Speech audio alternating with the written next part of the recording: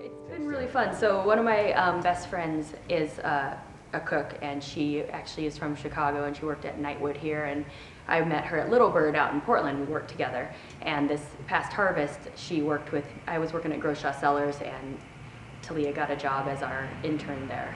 And so every time she would um, be doing something with the wine, I would try to put it in kitchen terms and in cooking terms to her so that she understood what we were talking about. And um, most of it, um, maybe not so much flavor because you're not going to necessarily change the grapes and create flavors, but textures.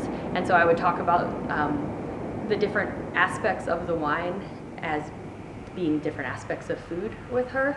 Um, like we were saying how like the oh, what were we talking about? The tannin in the wine is similar to um, like if you have egg in the food that binds it and the adds structure to it. And when, when she's tasting, I'm trying to get her to think about it that way because I know her brain's kind of trained that way anyway. And like the alcohol is like the the body or like the, the fat of the food and just comparing it and she said she said it was super helpful to her and she's she's new in wine but she's learning really fast and I think thinking about things in terms of breaking apart the components and, and comparing it to food in, in a similar way structurally is, um, I think it's helpful. It's, it seemed helpful to her.